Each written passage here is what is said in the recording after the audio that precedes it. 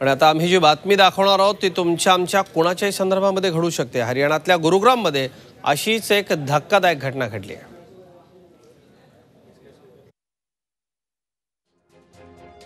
डेंग्यूच्या उपचारांचा खर्च तब्बल पंधरा लाख.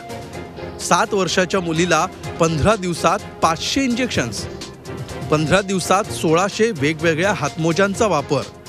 पंधरा दिवसांनी मुलीचा मृत्यू. बिल पंधरा लाखांचं. हरियाणातल्या गुरुग्राममध्ये घडलेली ही धक्कादायक गोष्ट. हे घडलंय नामांकित फोर्टिस हॉस्पिटलमध्ये.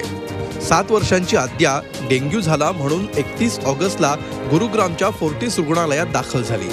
पुढचे पंधरा दिवस तिला व्हेंटिलेटरवर ठेवण्यात आलं. आठवड्यानंतर तिचं एम आर आय करण्याची मागणी तिच्या कुटुंबियांनी केली. मात्र हॉस्पिटल प्रशासनानं तिचं एम आर आय करायला मनाई केली.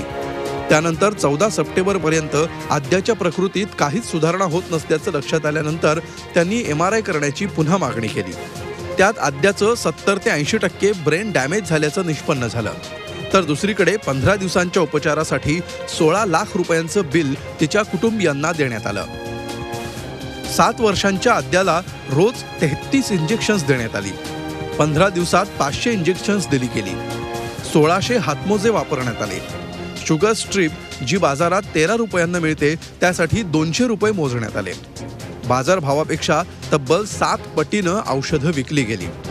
सवा लाख रुपए डेली का बिल आ रहा है, आपका चौदह दिन का बिल आ रहा है, सोलह लाख रुपए तो आपका लाख सवा लाख रुपए का बिल आ रहा है, आप क्या कर रहे हो? डेंगू में कहते हैं कोई दवा नहीं है? और मतलब कुछ भी आप कर रहे हो तो मतलब मेरे को बाद में बताते हैं कि हमने 20 यूनिट आपको ब्लड देना है, हमने इतना प्लाज्मा ट्रांसप्लांट किया है इतना ये किया है इतना ये किया है। तो आप हमें पहले तो कुछ इन्फॉर्म करोगे? हमने कभी भी उनसे नहीं कहा हमने बल्कि उनको खुद ही कहा कि आप जो मशीन्स यूज़ करना चाहते हो जो प्रोसीजर आपको लगता है कि हाँ इसके लिए फ़ायदा है आप कर सकते हो। लेकिन जब ये हो गया एमआरआई में हो चुका है कि कोई आफ्टर लाइफ नहीं है बच्चे की आप उसके बाद भी आप हमको होप दिखा रहे हो कि हम ट्राई करना चाहते हैं। आद्याच्या वडिलांच्या मित्रानं हा सगळा प्रकार सोशल मीडियावर शेअर केला. ट्विटरवर ही पोस्ट ट्रेंडिंग होताच आरोग्यमंत्री जे पी नड्डा यांनीही याची दखल घेतली आणि या प्रकरणाच्या चौकशीचे आदेश दिले. मैंने हॉस्पिटल अथॉरिटीज़ को इससे की उनकी पूछताछ की है और मैंने उनको कहा है कि आप एक डिटेल रिपोर्ट भारत सरकार स्वास्थ्य मंत्रालय को भेजें।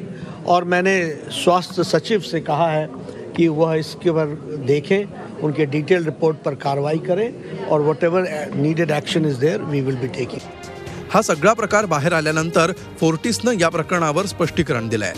या सगळ्या खर्चाची कल्पना रुग्णाच्या नातेवाईकांना देण्यात आली होती असं फोर्टिसनं म्हटलंय. पण उपचार सुरू असताना रुग्णाचे नातेवाईक त्याच्या काळजीत असतात. त्यावेळी पैशांपेक्षा जीव वाचणं महत्वाचं असतं. पण म्हणून रुग्णालयांनी वाटेल ती लूट करावी का? ही लूट कधी थांबणार? खासगी रुग्णालयांकडून होणाऱ्या लुटमारीवर निर्बंध काय हे प्रश्न या निमित्तानं उपस्थित होत आहेत. Bureau report Zee media Mumbai.